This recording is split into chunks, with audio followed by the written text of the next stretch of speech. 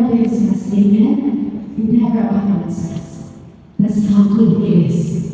Let us again worship Him for who He is in our lives. Amen.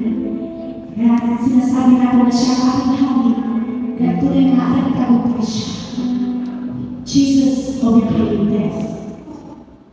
Death on the cross because of His love for us all. So let us worship Him. Let us bow our heads before our King, who is so good, so great, so awesome. Jesus, we worship you, You are our Lord, our God,